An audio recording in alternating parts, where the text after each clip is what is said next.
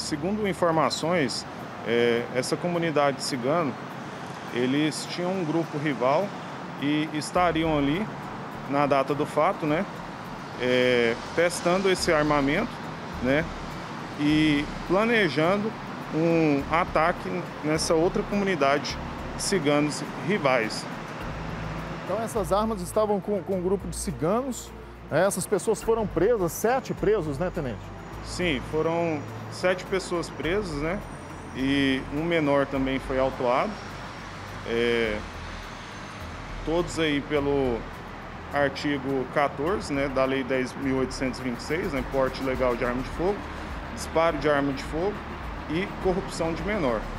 Tenente, desse armamento aí, olha, muita, muito, é, muito, muito armamento calibre 12.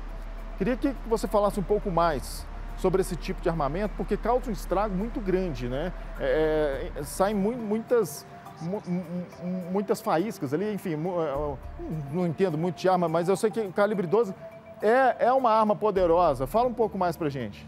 Sim, foram apreendidas quatro, quatro espingardas, né, calibre Gauss 12. É, foi, foi apreendida também uma carabina Taurus é, calibre .40, né? São armamentos aí é, de grosso calibre, né? E que tem um potencial é, bélico bem destrutivo. É, ainda bem que a polícia conseguiu apreender esse armamento, tirar das mãos dessas pessoas que poderiam causar um estrago grande. Existe então uma rivalidade entre esses dois grupos e, e dois grupos de ciganos, né? Existiam ameaças também, ameaças de morte, Tenente?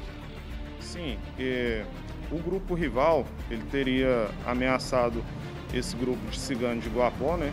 Da cidade de Guapó.